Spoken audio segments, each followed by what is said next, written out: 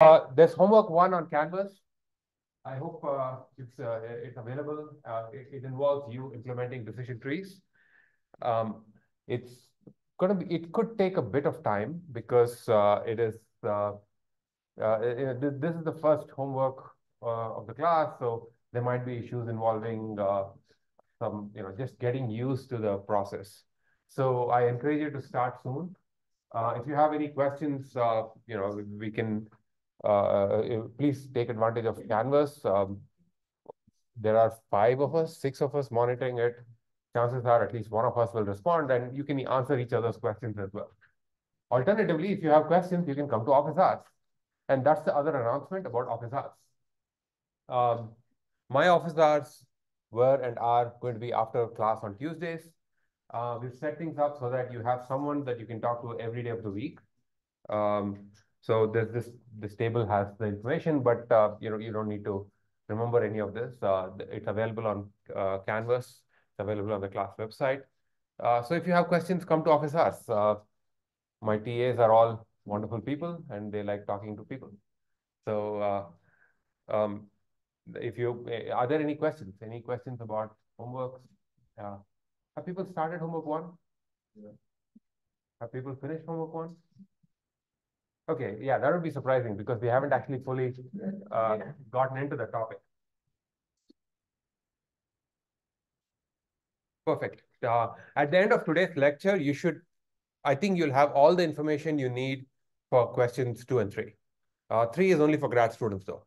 Um, there's a question, yes. Yeah?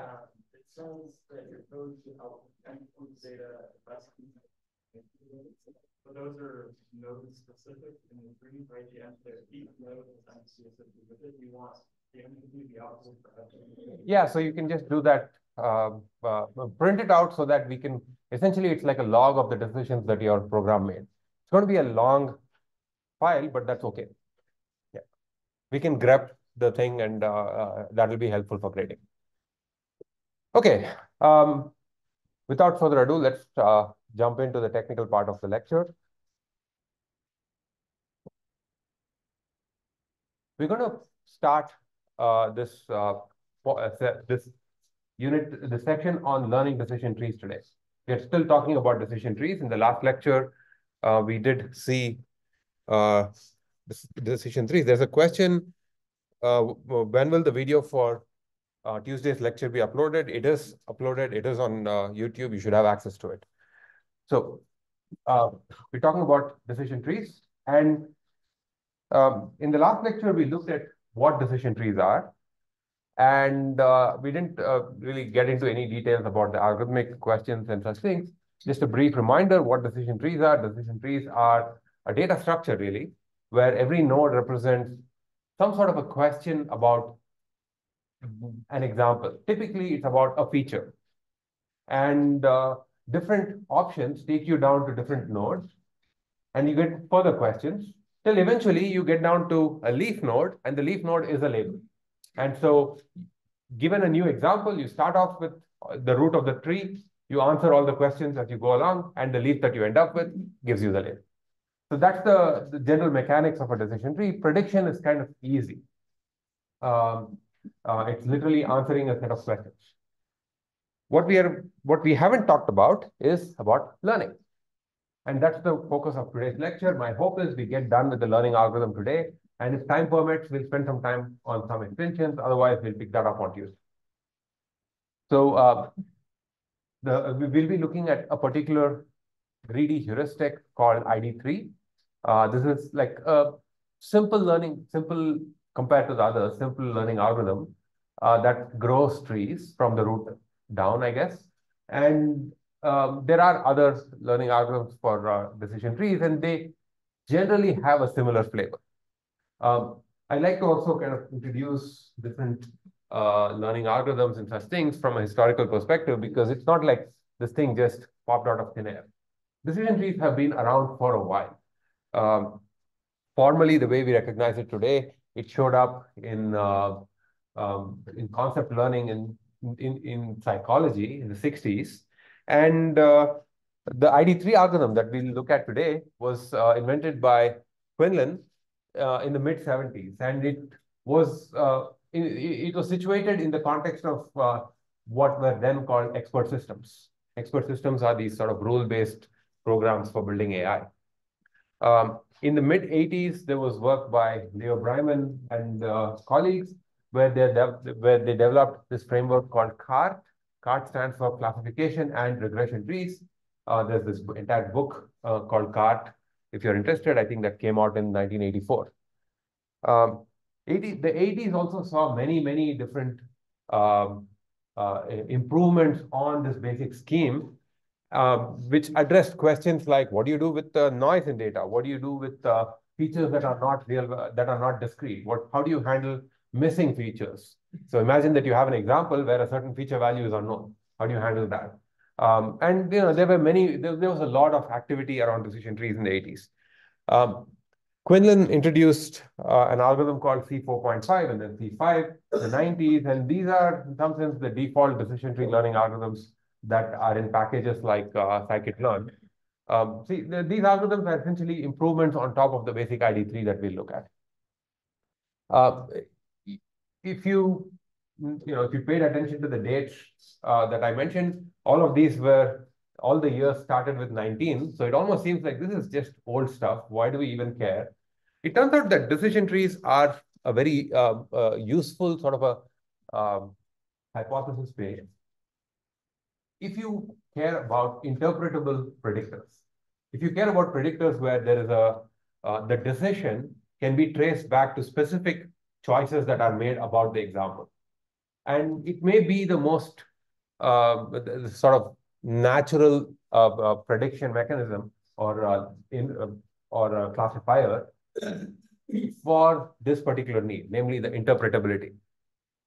In addition, there's there was also work in early 2000s which showed that if you want a good um, sort of general purpose learning mechanism that that applies that is uh, good in many, many scenarios if you don't know anything about the domain.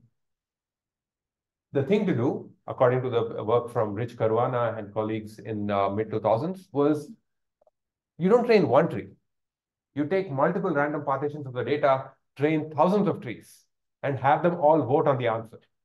And it turns out this committee of decision trees, which is called uh, ensembling, uh, there, there are specific algorithms like boosting and bagging, which are instances of ensembles, tends to be excellent. Um, until the modern sort of revival of neural networks that we are currently in, uh, starting about 2015 or so, an ensemble of decision trees was considered to be the best thing that you could do. If you know nothing about the domain, you just have someone gives you a data set and says, get me the best possible classifier you can you train an ensemble of trees, and it's going to be really, really good. Uh, lately, that uh, the, the current sort of uh, trend is to use neural networks, but this served that purpose before.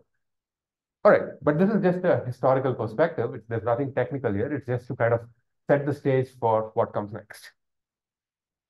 Rather than just presenting an example, I'm going to use, uh, rather than presenting the algorithm directly, um, I'm going to use uh, a running example that we will have uh, for the entirety of this lecture to uh, show you how the algorithm works. So the, the running example, this comes from, uh, I think this was probably from Quinlan's paper. It's definitely in Tom Mitchell's textbook. It involves the question of deciding whether I should play tennis today or not. Uh, of course, looking outside the weather, of course, the answer is no. Uh, but uh, let's say that we're going to use a decision tree to help us make that decision. And to make that decision, we're going to have four types of features. One of them is the outlook, uh, the weather, uh, how, how's the weather going to be? Is it sunny, is it overcast, or is it rain? The other one is temperature, which can take three values, hot, mild, or cool. Humidity can take three values, and the wind can take three values. And the label is a plus or a minus, or yes or a no. It's a binary classification task. And uh, we are operating in the supervised setting for machine learning. So the first thing to do is to, uh, having decided these things, the, the features and the labels, we're going to decide, uh, we're going to go and collect some data. So let's say we have this data. We observed what we do on 14 days. So for the way to read this is, uh, let's just use this row here. It Says if the outlook is sunny and the temperature is hot and uh, okay, everything I do moves the slide forward. That's not a good thing.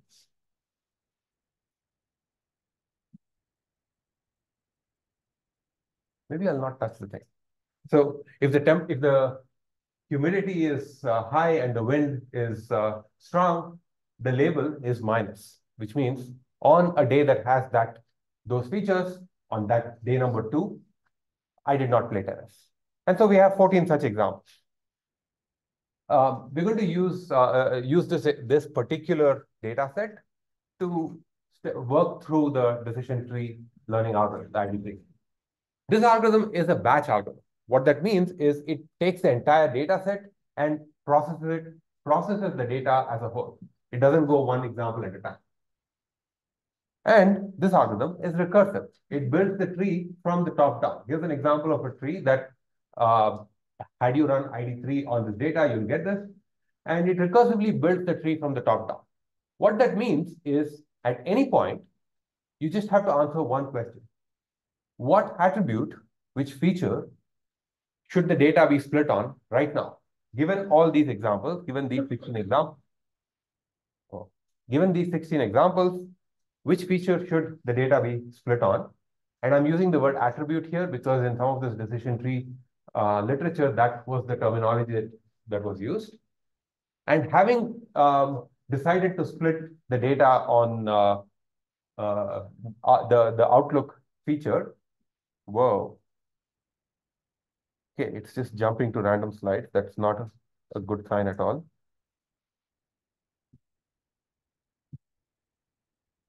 Okay. Oh, I know what's going on. My keyboard. Let's do this. Um, so uh, having decided to split the, the, the, you know, having decided that the root of the tree is Outlook, the next question is this feature can take three values. It can be sunny, overcast, or rain, which means you get three edges coming out of that node. What should happen for each of those edges? If you answer those two questions, then you go down to, okay, that hypothesis is gone. You go down to this subset of the data and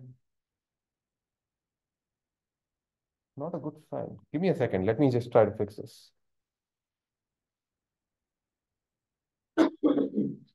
Can people on Zoom still see the slides?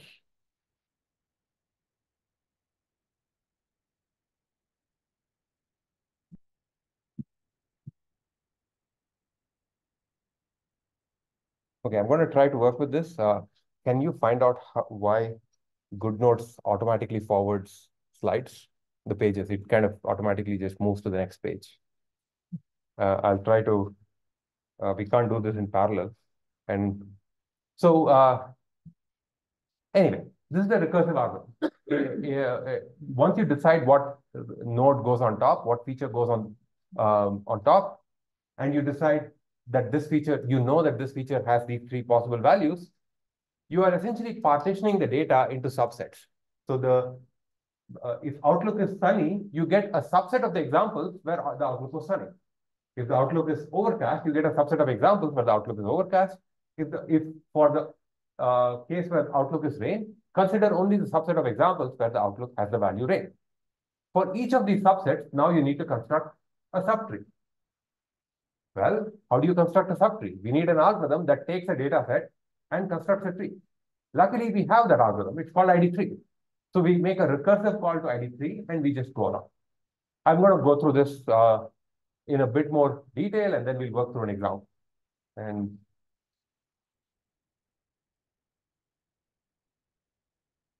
the basic algorithm, we're going to call that ID3. It has two, uh, uh, it takes two parameters uh, or two inputs. S, which is uh, the set of labeled examples. Uh, in this case, there are 14 uh, entries. And attributes, it's just a set of features that are currently available. So in the beginning, in this data set, we had four features, outlook, rain, uh, no, outlook, uh, humidity, and those other things, wind, and something else. temperature. So we had these four features. And uh, given this, let's uh, work through the algorithm. Now, let's consider the easy cases first. Suppose we have a data set where all the examples have the same label. We don't need to do anything, right? We just know the label because imagine all 14 examples had the same label. They were all plus. We don't need to grow a tree to decide that it's a plus. We don't need to look at any feature. We can just return the node plus. We are at a leaf. So this is the base case for the recursion. Um, and what uh, does this? Uh, oh.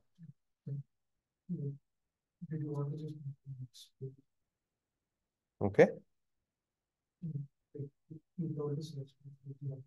No, I can, it automatically moves to the next page and I'm not sure if there's a setting somewhere that I need to change. It's not doing anything right now, so let's not tempt fate. So is the base case clear? If all your examples have the same label, what's the point of actually growing a tree just to decide that this example is a plus, that example is a plus? You just decide that anything is a plus or a minus, whatever that label is. So what if all the examples have the same label, you return a single node that has that label. Otherwise, there are at least two examples that have different labels, right? So now we consider the um, other situation. What we do is we create a root node. This is like uh, what I mean by that is you just create an empty root node. We need to decide what goes into the root node. So we need the next step is we need to decide what attribute to write inside the root node. Let's say that we somehow choose that attribute A, which is just feature, it's like it could be sunny, it could be outlook or temperature or windy. No, you know what I mean, right? The feature names. Um, we let's say we decide that attribute feature A, attribute A, is the best attribute that uh, classifies the data. And we'll talk about this choice later. Suppose somebody tells us that A is the best thing to split the data on. Then you just put A here. Whoa.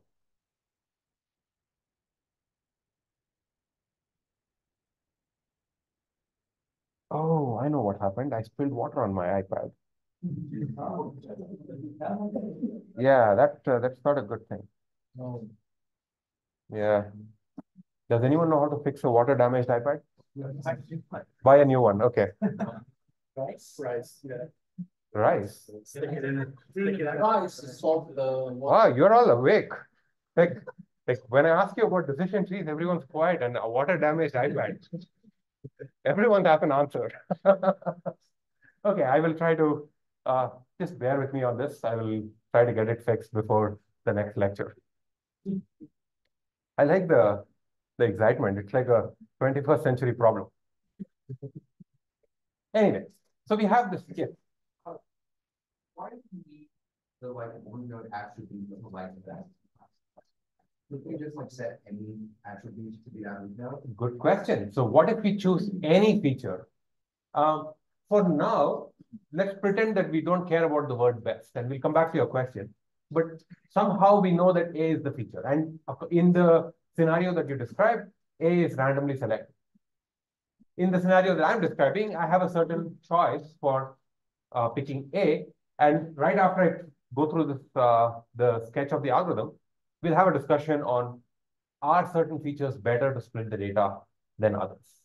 Um, there is actually an interesting uh, choice there. And in fact, the entirety of the ID3 algorithm revolves around that choice. So th that's a good question. We'll come back to that. But for now, let's say that somehow we know that we're going to split the data on feature A. So we're going to split the data on feature A. And let's say the feature A can take many possible values. Um, for every value, we create one edge going out of that node. Let's say that we are currently on value V. So in that case, outlook could be overcast. V is overcast. When that happens, um, we create a tree branch for that particular uh, value.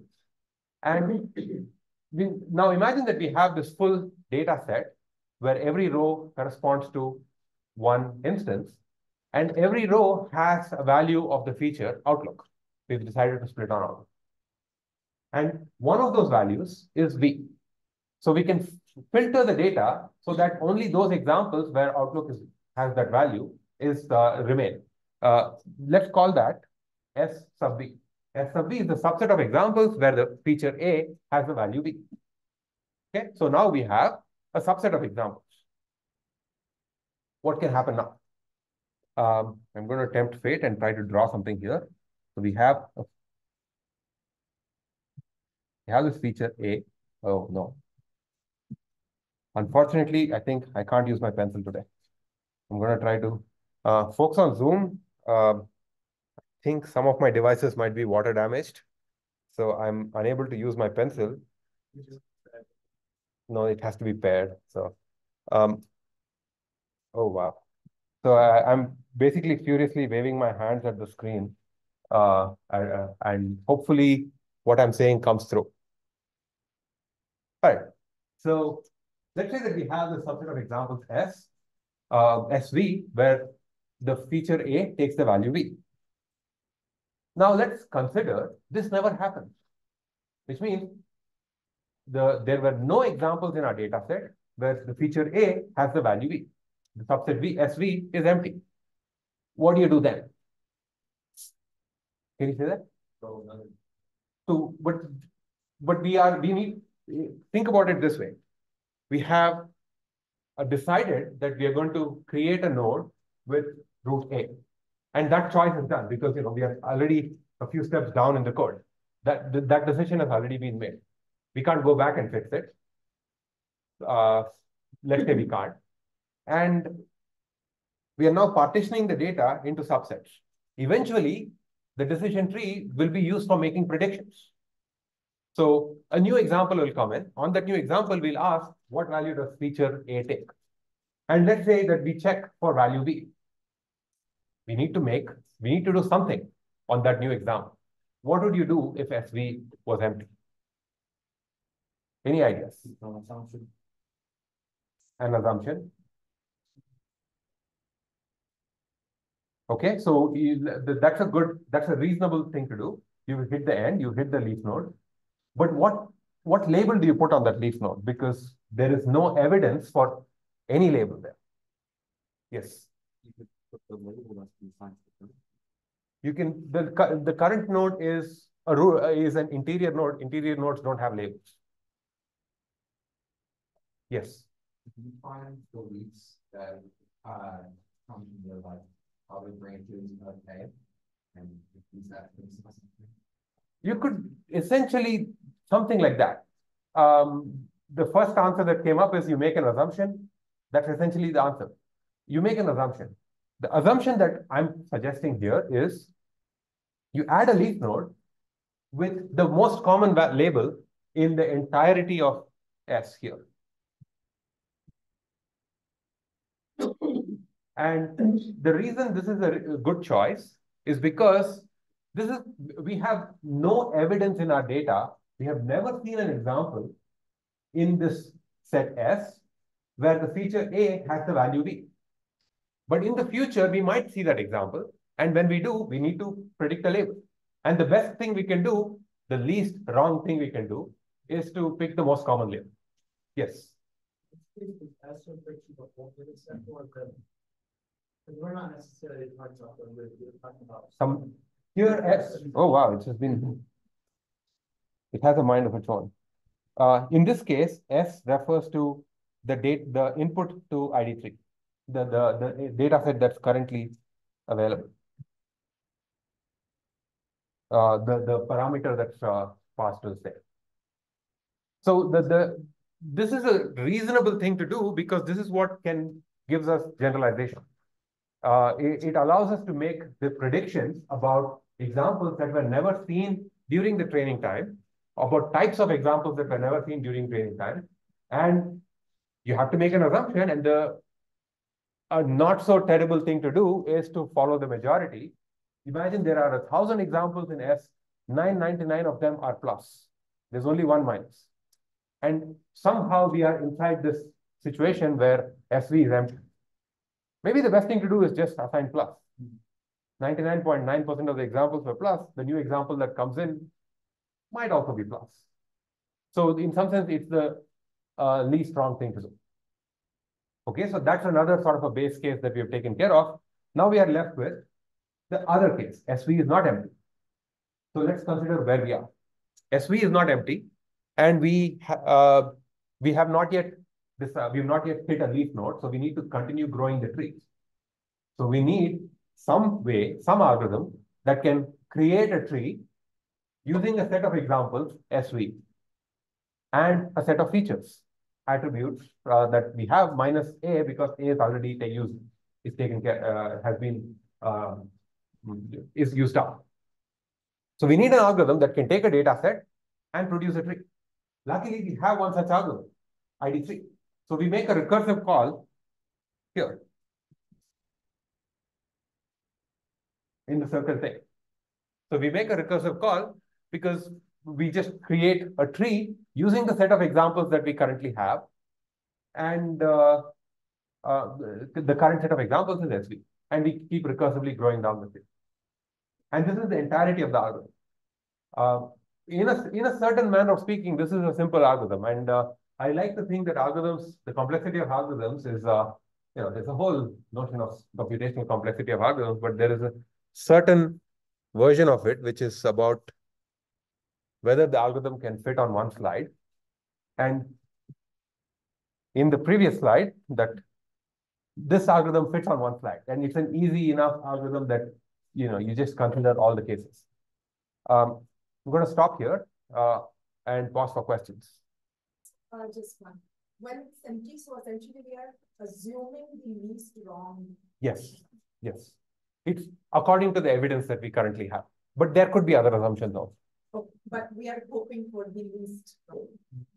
No, I'm, I'm, we are hoping that if we add the most common value in the, the most common label in the data set, okay.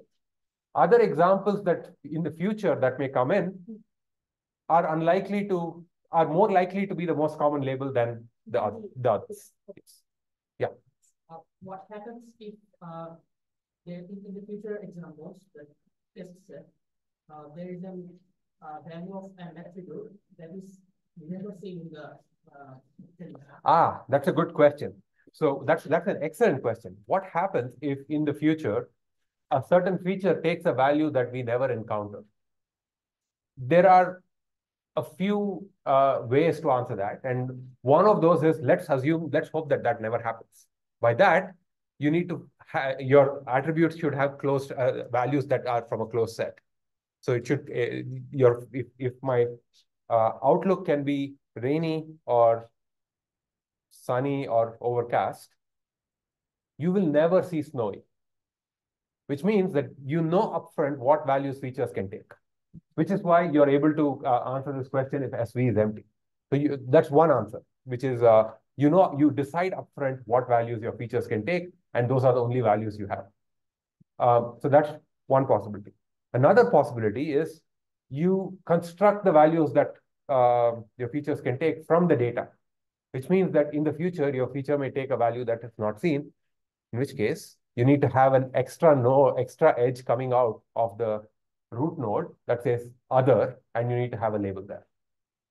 You can add a, you know, you, if, our, if your feature outlook takes three values, sunny, overcast, and rainy, you add a fourth edge saying anything else.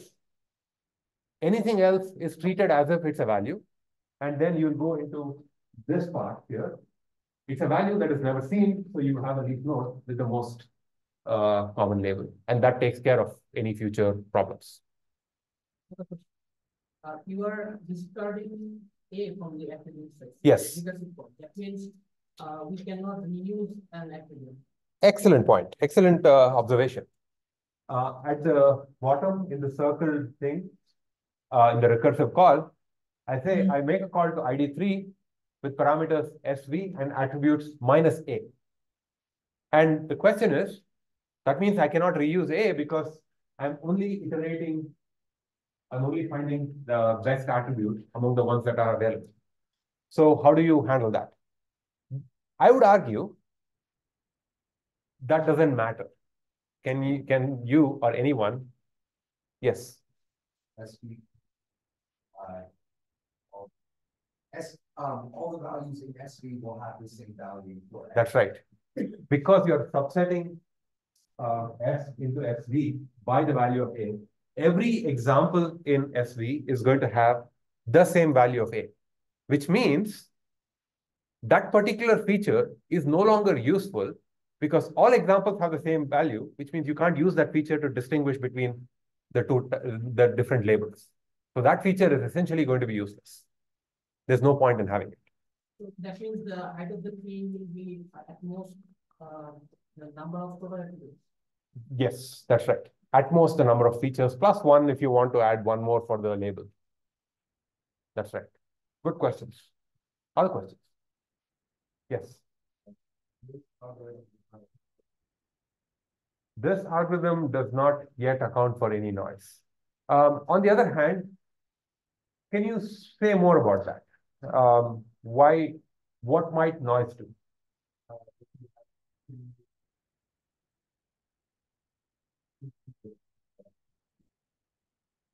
Right.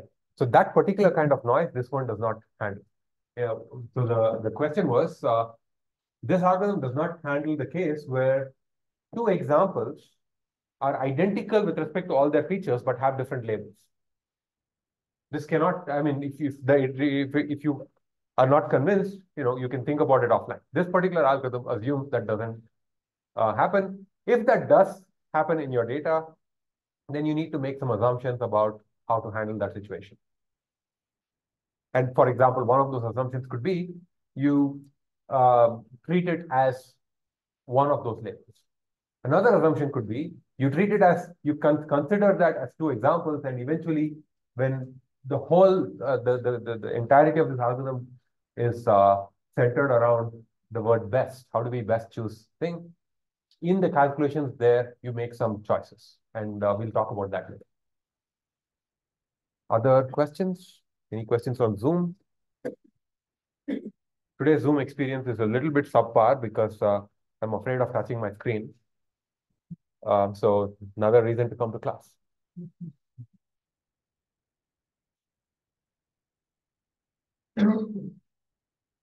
Okay. So now let's go to the question that came up a little while earlier. How do you pick that feature that goes into the root node? How do you pick the root node? The goal here, or the uh, claim that a lot of decision tree uh, learning research makes, is that shorter trees are better. The goal is to find the smallest possible tree that explains the data set. And uh, this is a uh, this this is almost like a philosophical point here.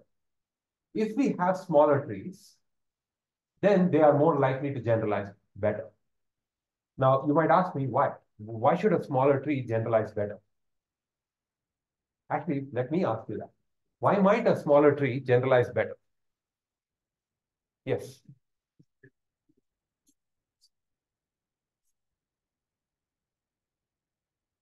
You're using a word overfitting that we haven't formally seen, but that is essentially the answer.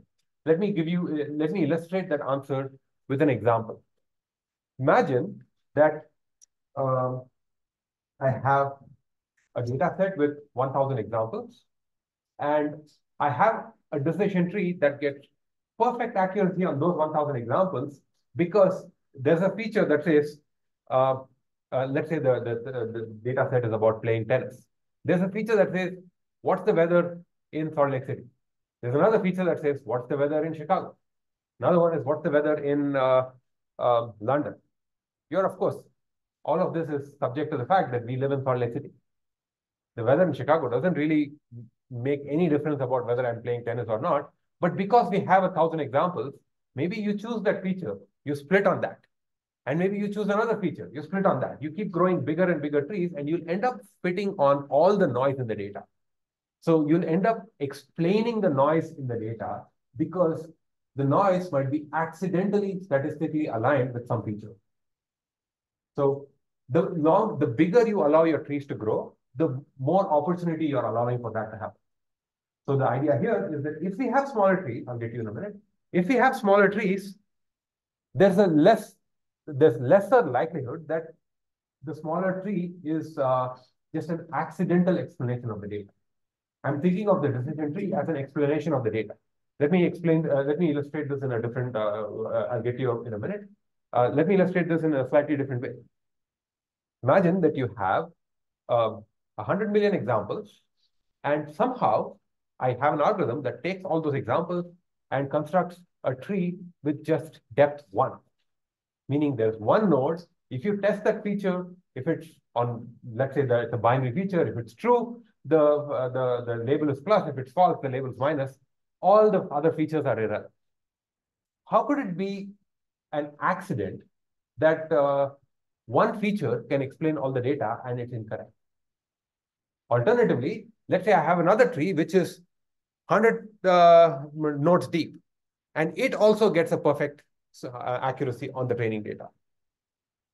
What's more likely to happen is that the 100 node tree, 100 node deep tree is explaining the data by, by latching on to statistical accidents rather than actually latching on to the signal. So it is, uh, uh, it, it is more likely that a smaller tree is a better explanation because it, uh, it, it, it's, it's less likely for that to be a, just an accident. It's more likely for the bigger tree to accidentally explain the data. At this point, I have not really given you any formal answers for why smaller trees are better. When we talk about, uh, when we come to the uh, section on computational learning theory, I'll give you basically a theorem called, uh, we'll talk about a theorem called Occam's razor, which formalizes that and makes the, the, the math a little bit more rigorous. But at this point, I'm just appealing to intuition. There was a question. Yes. Um, so for example, if we have a attribute list of like, if a hundred possible options that all have something maybe to do with the result. Uh-huh. Um, in our decision tree, if we want to make it smaller, like, okay, some of these make no sense, we might just split it and choose like five and make a decision tree from five. because That makes that's the best in our algorithm. Okay. Would that make sense or would that just be like you can't do that, you have to use a hundred? No, so eventually what will happen here is this ID3 algorithm will end up choosing a subset of the features. Because of the recursive call, it will recursively just keep calling uh, itself and pick a feature at each time and at some point, it will stop, and the subset of features that get used are the ones that are. At what point do, does it stop? The, the stopping criteria, there are two uh, exit points here, right? In the top, if all examples in the set of uh, that are currently available in this call have the same label, you return. Or here, um, it, it stops when you add a leaf. Okay. Okay. Yes. So, uh, if you look at the tree, um, for this specific example, if I choose that if it's raining, there will be no gain. So my decision will be different, right? If I possibly, like, can we come to the example? I'll be working through the example in some detail. Uh, right. If I uh, choose that data, it will be overfitting it. So I can just remove that attribute from my table. You could, but we don't know upfront which features are irrelevant. If you it depends on the question, right? Yes. Play, uh, game in SLC or not. Uh, so I can just remove that attribute. Absolutely, yes. If you know that a certain feature is irrelevant, it makes perfect sense to remove it. But typically, we don't have that luxury because our the, the concepts that we are trying to learn might be a little bit more complicated. Uh, and they may not, we might not have a very clear reason to not toss out a feature. We might say, oh, maybe there is a reason. Remember that example I talked about uh, the price of Starbucks uh, and it depending, the price of Starbucks in an American stock exchange depends on weather data six months ago in Nigeria. Why? Because of some rain and coffee beans and all that. So we might not naively, we might not trivially toss up, be able to trivially uh, toss out features, un unlike the example that I gave, where of course it makes no sense to have the weather in Chicago. So because I have a similar question while looking at the weather. Because uh, the question was like uh, if it's right or not. So I was thinking that it doesn't matter which uh, type of. uh, I don't know. I mean, like uh, I don't want to my motion. Don't do that. Uh, uh, just work through the algorithm. Yeah. Ah, yes. Um, yes, you and then you. Could we use uh, decision then to identify like the key features? That's actually a that's an interesting use case. For sure. We could do that, and uh, that could get you some gains. A question? If I may just put devil's advocate for a moment. We've discussed that having a very small decision tree is good because it's a mathematically more not later in this way. Um, we haven't really explained why it's better to still even look the data. If you just take it back and say small decision is best, just have one good.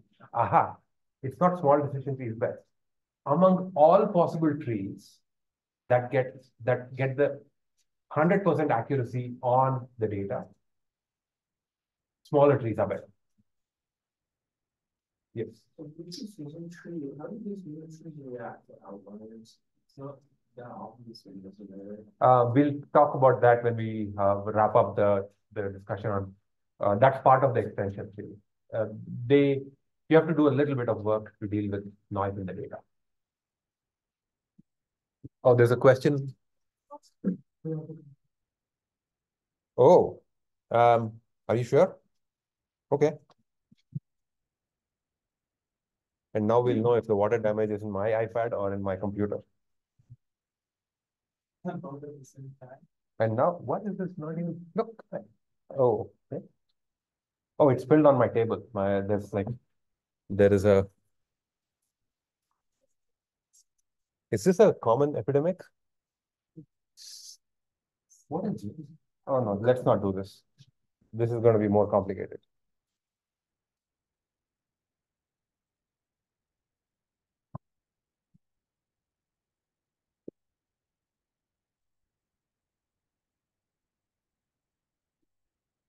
While, while I'm doing this, uh, are there other questions?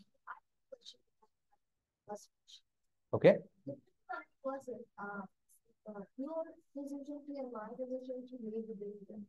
no, if you, there's the, the, okay, that's a good question.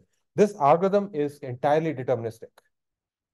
So if you and I run the same algorithm, we'll make the same choices, except in, in a very, very specific scenario where it is not going to matter. Um, give me one second and I'll make sure that I'm sharing. Can people see this on Zoom? Can people still see this on Zoom? I think, yes, okay. Um, it will be, and we'll talk about that in a minute. Uh, the, the, you, once we decide on, uh, well, once I tell you what the criterion for choosing the best node is, you'll see that it is, there's no randomness there. Okay, so the, the, the, let's uh, come back to the point. Imagine I have two trees. One of them, both of them get 100% accuracy on the training data. One tree is really small, one tree is massive. The intuition here is that the smaller tree that perfectly explains the data is better than the larger tree that, uh, that perfectly explains the data because it is it cannot be an accident that a small explanation is also the right one. So it must be the right one. It cannot be just a statistical accident. Unfortunately, finding the smallest tree that perfectly explains the data by enumerating all possible trees is actually a computationally intractable problem.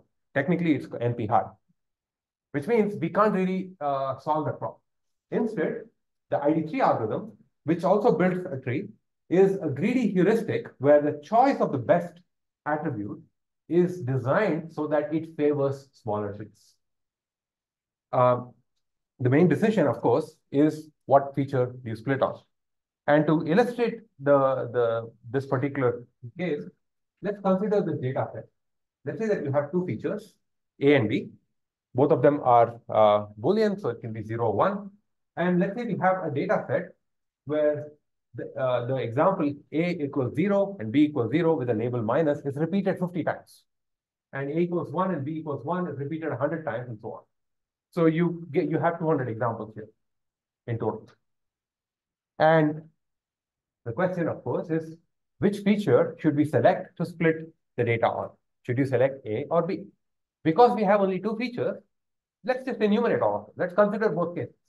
So if I split on A, you get a no. If I split on A, when A equals zero, the label is minus, and when A equals one, the label is a plus.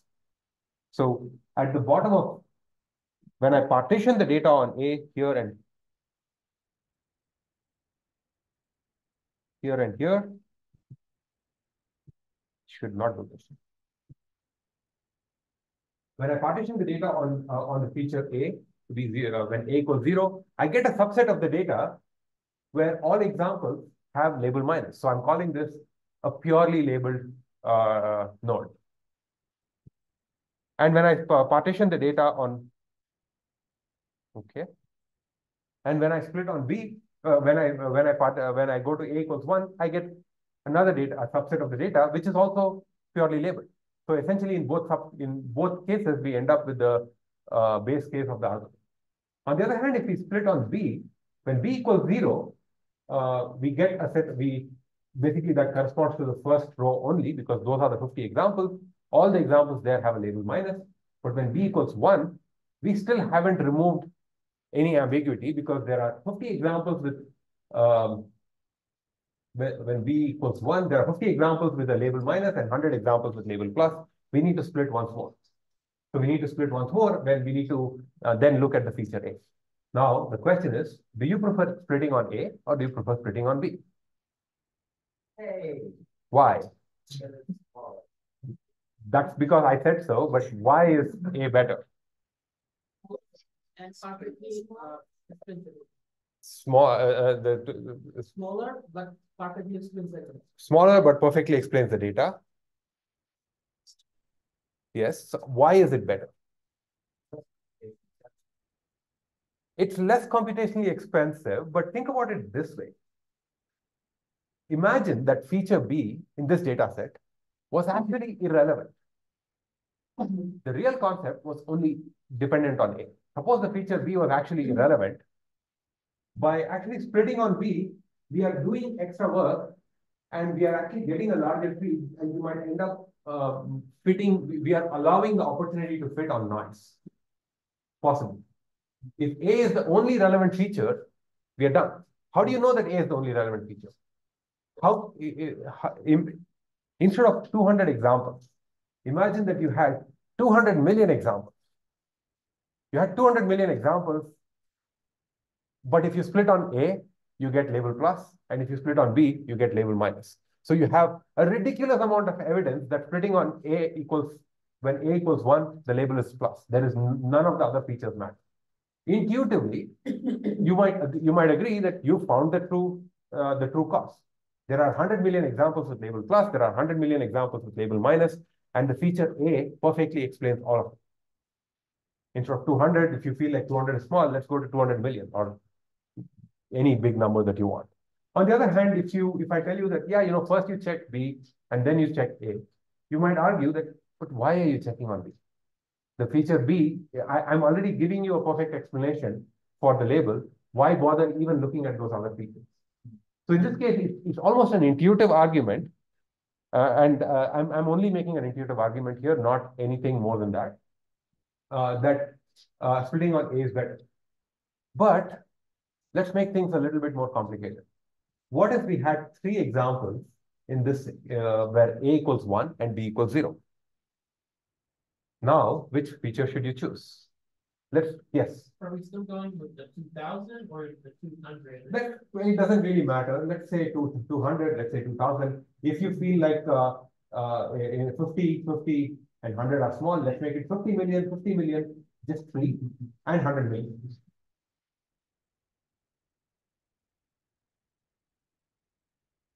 One answer is you should probably pick B. That's another answer. And what would the what would you pick? Okay, so we have two possible uh, options. Either you split on A or you split on B. The good news is if you in, in either case, we can draw the full tree. So if you split on B, you get this tree. You can just take my word for it that this get this perfectly assigns the right label for all the 203 examples or whatever number I said and three examples. And if you split on A, you get this tree. They look structurally the same. There is no computational difference between them. having seen this, which one would you pick? Uh, I've heard your voice, I've heard you, I've heard you, someone who's not answered before. Yes. Maybe pick B because we're more likely to get to a node on the first decision. There's only, there's only three examples where A is one B. Uh-huh. Oh, no, maybe not. But, but my thought is there's, there's one of the trees where the first split is going to be more likely to classify our data from this and outside. Let's put the numbers there so that it can help. Do you want to reconsider your answer? Yeah, split on A still. Split on A still, and can you explain the answer? Because, uh, looking at our training data, a hundred of our examples are gonna be classified on our first decision, but only fifty-three will be classified. Right, that's, that's a, to me, that seems like a reasonable answer. But does anyone have someone, something else to say? At this point, anyone, maybe you also, and, and people. So what is it, say That on the first try, I will just check like which decision picks out my examples checking and for the last node even, I have to check one fifty on one level, but it is one zero three on one level. Right. There is an, uh, yes, inside the binary search, you want uh, both sets to be balanced, so it's the quick- the quickest way to reach your decision. the quickest way to, and so based on that, would you prefer A or B? A, This is both learning balance, but okay? Uh, someone said B, I forgot who. Did you say B? Okay, do you want to say A? I would actually go with this. Oh, okay, if you're going to say B, can you justify B? Well, every decision has to be balanced by variables. So on A, if, if you go with it's um B zero, it's only three there, right? But if you were to do one where starting node, starting tree is B, it's more balanced. you Why is being balanced a good thing? Because you want one more diverse. Well, no, this is, uh, this is after learning. This is the result of the learner. The learning algorithm produces these two options. Would you argue it's more, More what? would you argue that it's more, it has more learning integrity? Um, I don't know what that means. like it's better, it's more accurate in terms of learning than. They are both perfectly accurate on the training data. And the training data is all you have. That's the point. The training data is all you have, and we are hoping to make choices that's going to impact future decisions. So let's think of it in a slightly different way. Which of these trees might be, um, well, both these uh, trees are going to make the same decision for now, but uh, I'm not going to go down that path because that's just opening a door. Uh, did you say B? Yeah. Okay, uh, someone said B and they, Because B means the first one. B is the one of the, Yeah. Yeah. Uh, what, what I find probably find one reason is that, uh, the, that one, like, the only three, that, that thing could be noisy, big, and and so that will mislead the predictions and these.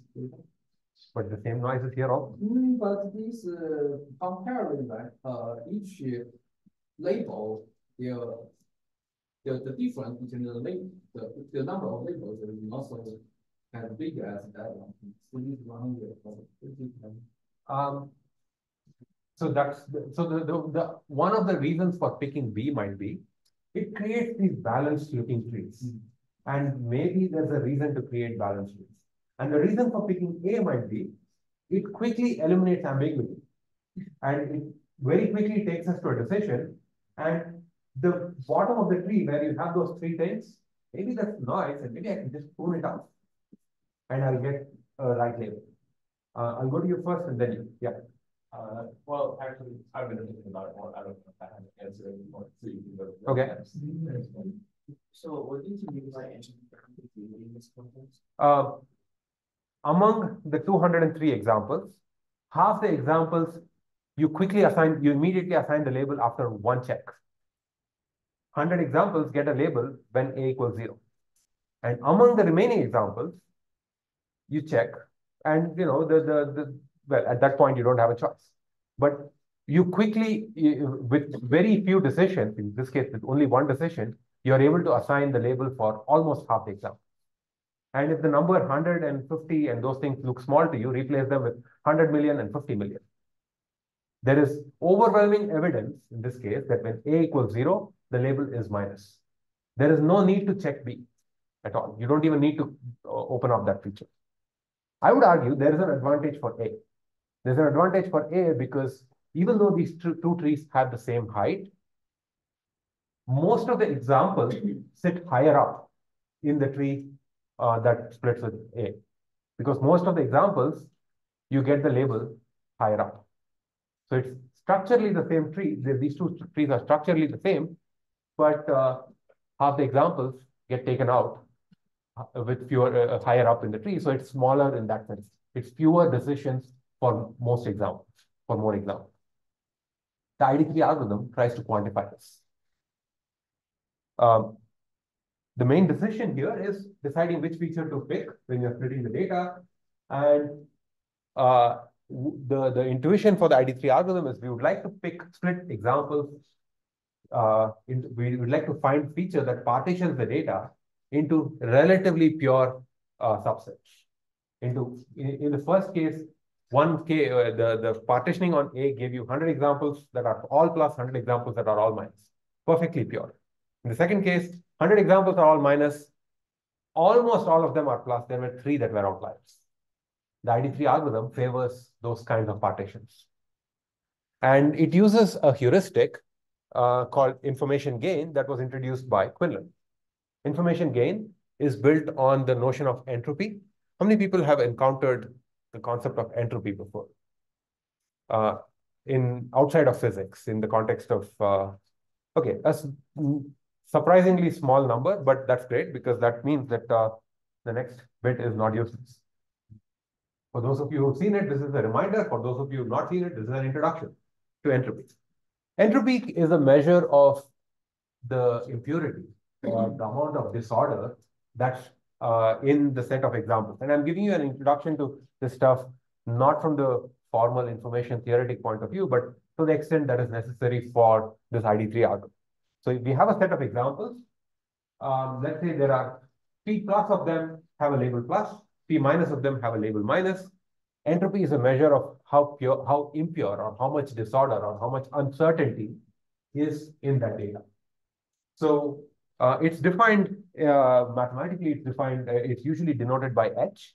So we have h of the labels of s is p plus.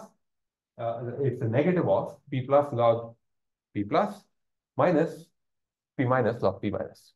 It's a it's easier to explain what it is than to actually state it. Um, you can generalize this uh, if you have k possible values, the of p plus and p minus, let's say you have p1 through pk. I basically take pi log pi, always in this case, the log is the base 2. Add them all up, negate it. That's the definition of entropy. Entropy uh, has a rich history. Uh, it was introduced uh, by Claude Shannon in the 19 late 40s, early 50s. And uh, this information theory as a field had the same sort of uh, intellectual and public excitement as machine learning does today, to the point where information theory was the standard choice of uh, uh, that people used to use. If I need to solve a problem, oh, maybe information theory will help. Uh, that was the 1950s. Entropy was part of is it plays a big role in that. Did you have a question? Yeah, um, when you say positive and negative examples, is that presence and the, well, the absence of a feature? No, I'm, I'm not talking about the, the, when I say positive and negative examples, I always mean positively labeled, example label plus, example label minus. When I say, it's always with respect to the labels. Yes. Let's, uh, let's kind of take this out to a step. If all examples have the same label in a set, then let's say they are all plus, then P plus is the fraction of examples with label plus, so it's one. P minus is the fraction of examples with label minus, so it's zero. When I apply this expression, P plus log P plus, so that is one times log one, which is a zero, minus zero log zero, which is, uh, let's just say that it's equal to zero. Uh, it's actually an indeterminate value, but the limit is zero. So the entropy there is actually zero. When the label is, all examples have the same label, the entropy is zero. This makes intuitive sense. How much uncertainty is in that data set when all examples have the same label? Absolutely none, because I know that all the examples have that label. There is no uncertainty in the data, so the entropy is zero. On the other extreme, let's say exactly half the examples had label zero, uh, label plus, and exactly half the examples had a label minus. So the entropy here, and I'm going to actually try writing the math, and let's hope that it works. Is uh, okay, let's try one more time. My, wow. Okay, I can't write the math, so I'm going to furiously wave my hands and pretend that I'm writing stuff on the screen.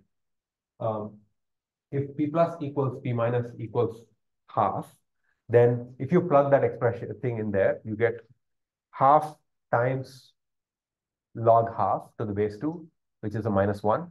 Half time minus half times minus 1 is just a half. And both of them are the same, so you get entropy equals 1. For binary decisions, the highest you can get, uh, the highest entropy you can get is a 1. Let's kind of, uh, uh, you can work this out offline, but let's uh, dive into that a little bit more uh, in detail. When 50% of the examples have a label plus and 50% of the examples have a label minus, you cannot get more uncertainty than that, right? Exactly half, give, if I give, given that situation, I give you a new example. You have no idea what the label is, and it cannot be more uncertain than that.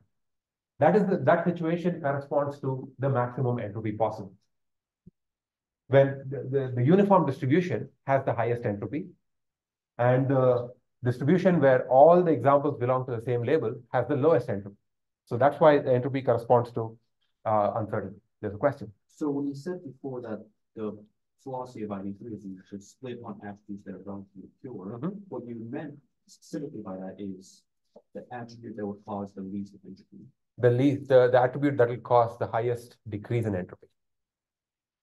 We'll talk about that literally next. Okay. Yes. Entropy can be uh, the, the entropy can be seen as the number of bits that's needed to convey information. Um, so uh, the, the example I like to use, uh, this comes from, I think, the textbook on AI by Russell and Norvig, um, or some version of it. It's a paraphrase of that. Imagine that I'm telling you about, I, I need to convey the weather um, uh, to someone. And let's say that the weather, uh, today we're talking about, let's say the weather in um, Salt Lake City. Some random day of the year, Salt Lake City can be cold, like it is today, make thought of. And on some other random day, it could be hot. Right? So if I just tell you what's the weather in Salt Lake City, you don't have any idea what it might be because you you, you may not, it could be hot or cold depending on when it is, uh, what, what day of the year it is. So there is some information that needs to be conveyed. On the other hand, let's say I talk about weather in Antarctica. It's hot or it's cold. Well, it's never hot. I don't need to actually convey any information. The number of bits of information I need to con convey to remove the uncertainty about the weather in Antarctica is zero. Entropy is a measure eh, of uncertainty. How much entropy is in that uh, is in the in the whether uh, in how much information is necessary to convey the weather in Antarctica? Zero, because there is no uncertainty about it. How much information is necessary to convey the weather in Salt Lake City? Not zero, because depending on the day of the year, it could be hot or cold. Entropy is a measure of uh, uh, uncertainty. It's a measure of uh, ambiguity uh, or disorder. Um, so, Uh, yes. So in case of Antarctica, as you said, if, if we are certain uh, about, like, let's say, Yeah. such an example, so the entropy would be lesser. lesser. It'll be it'll be zero for Antarctica. I, think. I'm, I think Antarctica is cold. Some of you may disagree. Um, so there is no information. There is no need for me to convey that information. So if you look at these three probability distributions here, the way to interpret this uh, is uh, I have two labels, minus and plus, and the length, the height of this, uh, the bar is the probability associated with that. The entropy associated with the, the leftmost one and the rightmost one is lower than the entropy associated with the middle one because the leftmost one, most of the instances belong to plus. So with high probability, the highest, you know, there, there is less uncertainty about what the label is because it's mostly going to be a plus. So the entropy is low. The blue bar here represents the entropy. On the rightmost one, the entropy is a little higher than the left. Am I missing out my left and right here? It's to your right. On the farthest one, the uh, there is more uncertainty because the probability of plus has come down a bit compared to the other extreme, and the probability of minus has gone up a bit. The entropy is higher. The middle one, the probability of plus and the probability of minus are both equal, and the entropy is highest because there is given a new sample from that distribution, you can't tell if it's going to be a plus or a minus. Given a sample from the one on this corner here, if I force you to pick a label, you'll say it's a plus because most of them are going to be plus. So it's there's less information to be conveyed. This, this same thing applies for multi-class situation classification also. The far corner there, imagine that every bar represents a different label. The one where all the labels are equally likely, but one of them is extremely more likely, has the lowest entropy. And the middle one, where every label is equally likely, has the highest entropy. So the entropy for the middle one can be much higher. This is a uh, the, uh, this is like, like a crash course on entropy. I'm not going into too much detail. Uh, high entropy corresponds to high uncertainty. Low entropy is low uncertainty. Any questions about this? Yes. I see the slide about uh, whether um, the percentage is uh, of half, yeah, one bit one bit the bits required. How do understand this? Uh, I don't want to go into that a bit because it's kind of a digression and it's not uh, going to give us take us into uh, more all, along the direction that we want. We can talk about that offline. yeah. So can I imagine as if everything's the same, so we can be more uncertain about it? If every what is everything? If all probabilities are the same, yeah. that corresponds to maximum uncertainty. Okay. If all decisions are the same, that corresponds to least, least uncertainty. Yes. Is entropy, is the range of possible entropy value zero to one for their? Ah, a very good question. If you have only two choices, uh, like plus and minus for binary classification, the highest entropy possible is one, because that ha happens when the, both of them have an equal probability. If you have more than two choices, the highest entropy possible is the log of the number of choices to the base 2. And if you want to kind of prove that to yourself, consider the following kind of a loose argument. The uniform distribution has the highest entropy because that corresponds to maximum ambiguity. So given that, the uniform distribution for say three labels, each label would have an, uh, a probability of one third. So one third times log one third, three times. That corresponds to log 2. And there's a negative there. I always forget the negative. There was some other hand that I saw, but I think I lost track. Or folks on Zoom also, there are questions. Yes. You have five labels, but only two of them are the other two are going to be a meaningful difference in of access you can calculate it, but the answer is both of them will have an entropy one. Okay. This is pretty much all you need to know about entropy for the purposes of what comes next. Higher entropy is more uncertainty, lower entropy is less uh, uh, uncertainty.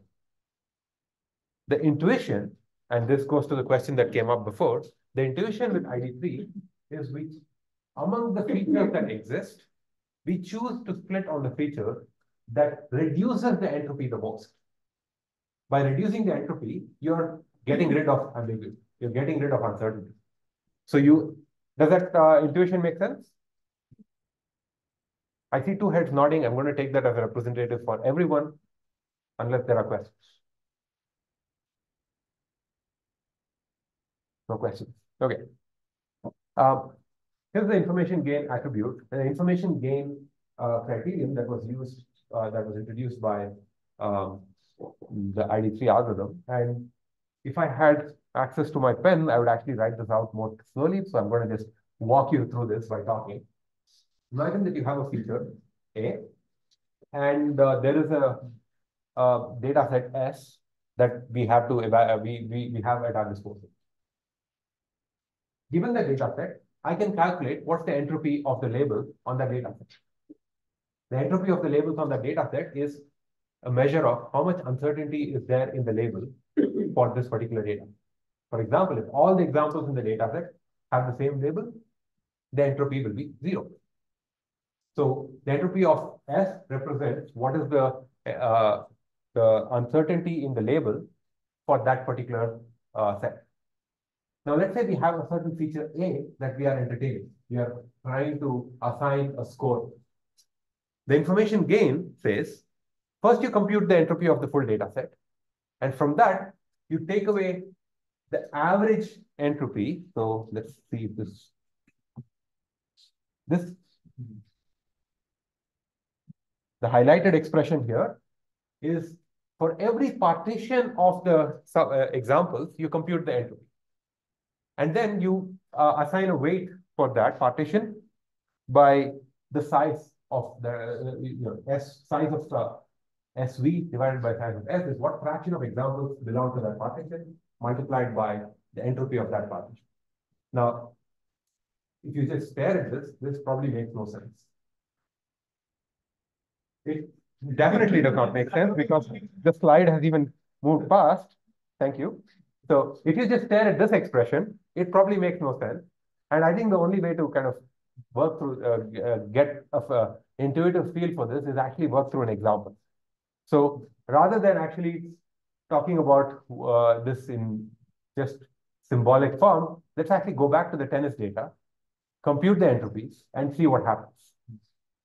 But after this is done, I would encourage you to go back to that example with the A and B feature, apply this information gain criterion, and see if this information gain is higher for the feature A or feature B.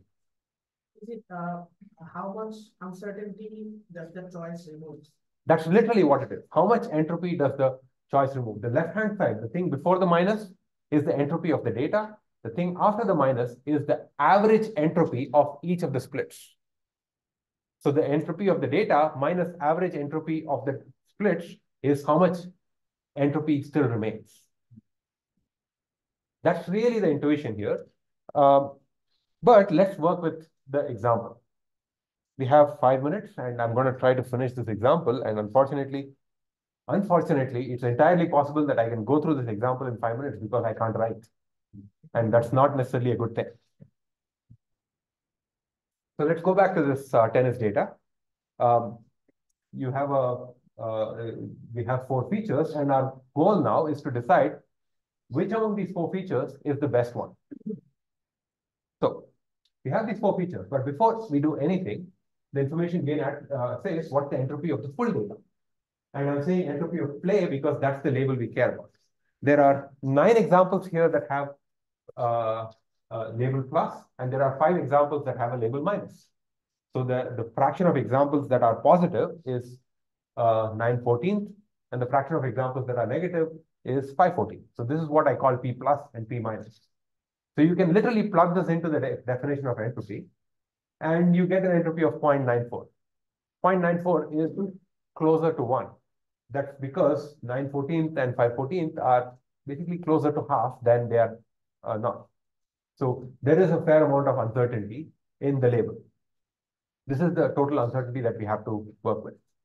Now, let's go through this one feature at a time. Let's start with the feature outlook. That just corresponds to this column here. It doesn't, we don't just look at that column. Anytime I say entropy here, I'm only talking about the entropy of the label. So let's first consider the examples where outlook is sunny. This is the subset of examples where the outlook is sunny. When outlook is sunny, we have only these five examples that are still in play. And among these examples, two of them have label plus, row number 11 and row number 9 have uh, label plus, then the other three have a label minus. minus, And I can compute, again, what's the entropy of this subset of the data. It's uh, literally the same thing, and we get 0.97. There's quite a bit of entropy uh, uncertainty here. Things have gotten a little worse. But there are other rows. When Outlook is overcast, we are subsetting the data to these four rows, 3, 7, 12, and 13. All four of them have label plus. None of them have a label minus. So P plus or P is uh, 1 and the, the P minus is 0. This data set is has no uncertainty left. The entropy of this data set is 0. Okay, so now we have another subset, which is rainy, and we can do the same process. So we had three subsets of the data. One correspond to each value that the feature takes, and each of them has three different entropies. So we have for the subset where the label is sunny, when the feature is sunny, you get uh, 0.97. When the feature value takes overcast, you get entropy zero, and the feature value of uh, Outlook also gets a 0.97. You can go back and verify that. Now using, but each of these are, you can't just average them because you, you take the weighted average of these three entropies. So this part here, don't.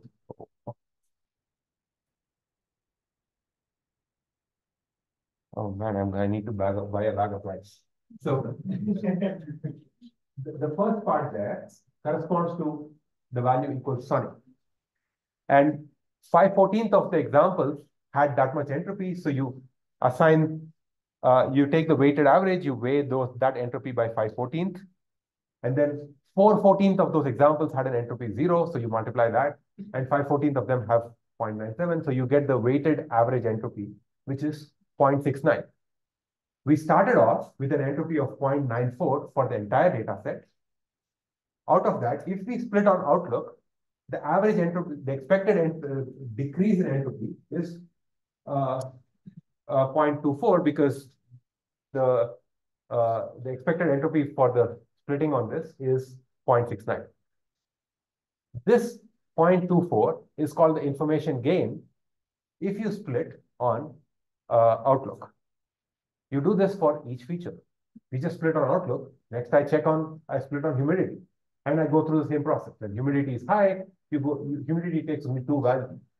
Two values. When humidity is high, I get uh, an entropy among the subset of examples. When humidity is normal, I get another entropy. I take the average of that. I get the expected entropy there.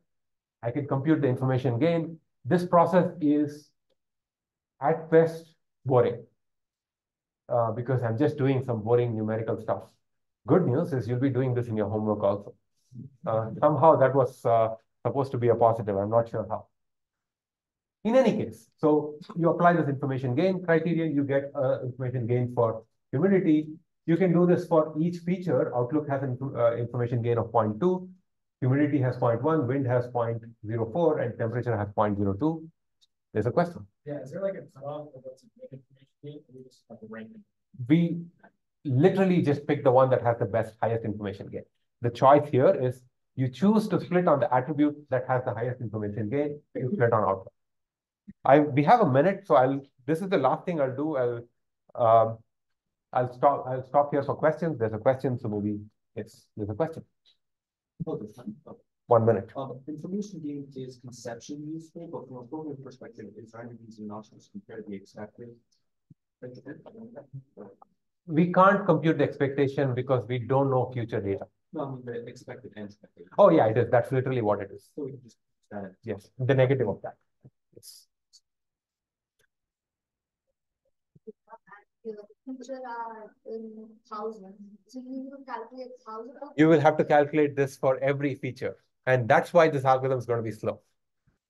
Okay, I'll stop here. Hopefully Tuesday's class will not involve these technical issues.